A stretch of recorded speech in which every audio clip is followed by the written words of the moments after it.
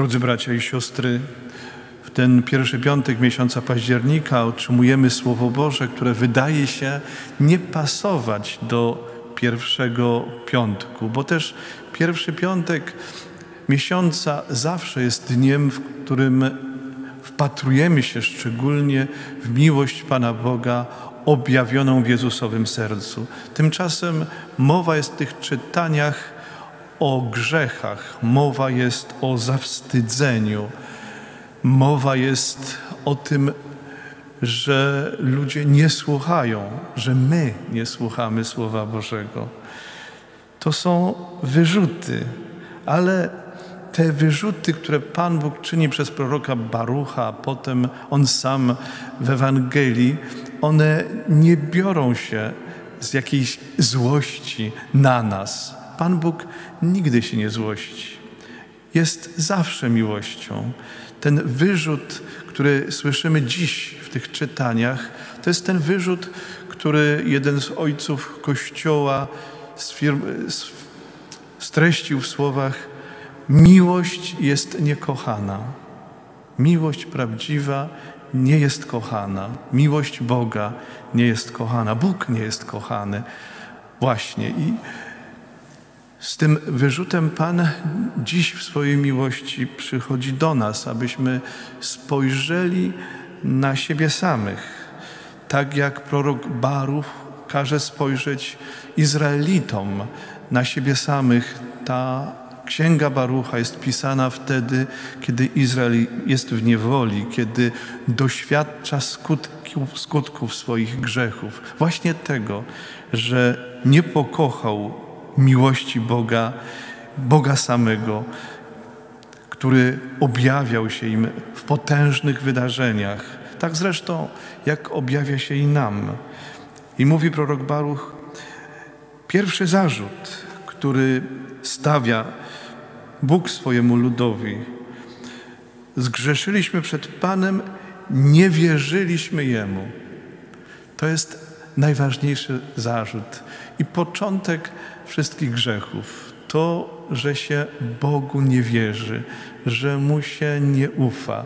Nawet jeśli się Go wyznaje, nawet jeśli się Mu mm, służy, można mu nie ufać, można chodzić swoimi drogami, pełnić swoją wolę, a Pana Boga potrzebować tylko po to, by nam pomagał w naszym życiu, by On był pomocą, w istocie, by On nam służył. I mówi dalej prorok, nie byliśmy posłuszni głosowi Pana, Boga naszego, aby pójść za Jego przykazaniami, które nam dał. I byliśmy tak niedbali, dodaje, że nie słuchaliśmy Jego głosu. Bracia i siostry, w ile to głosów jesteśmy wsłuchani w tym świecie?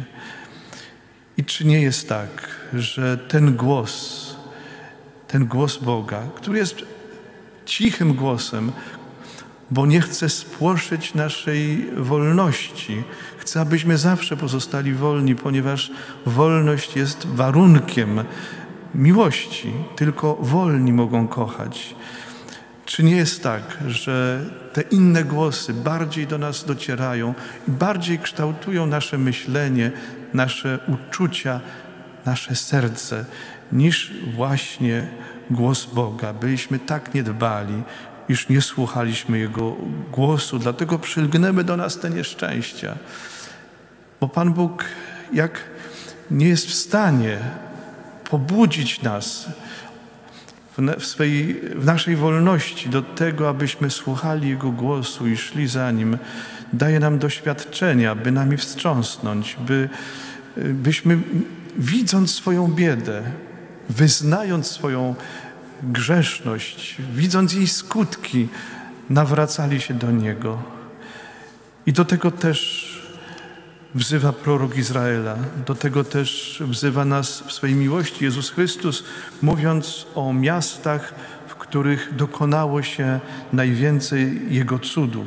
Biada Tobie Korozań, biada Tobie Betsaido.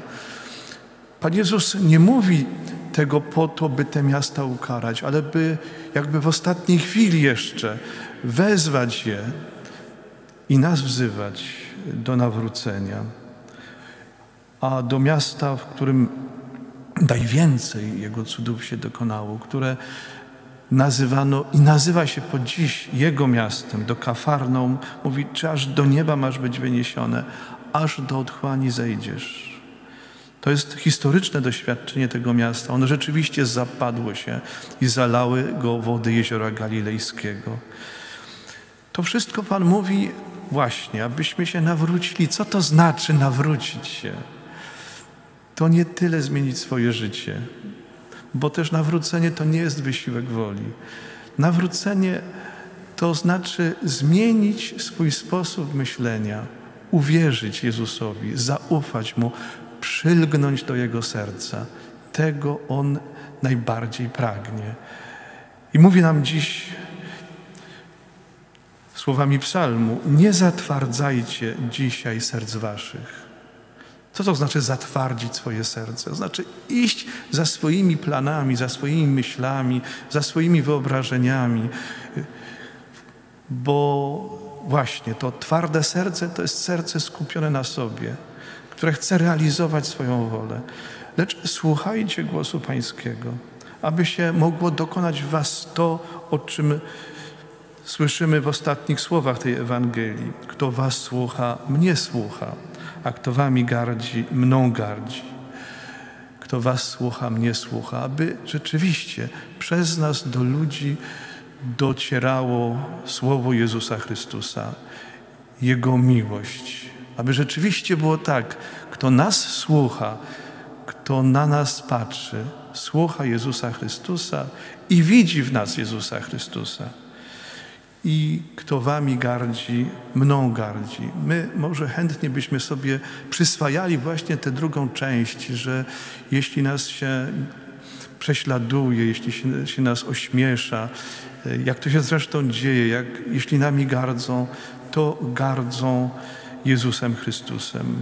Ale może nie jest tak. Może nie gardzą nami dlatego, że i że gardzą Jezusem Chrystusem. Może gardzą nami dlatego, że nazywamy się Chrystusowymi, a nie widać w nas Jezusa Chrystusa, że widzą w nas właśnie to, co Pan Jezus zarzucał uczonym w piśmie i faryzeuszom, że widzą obłudę.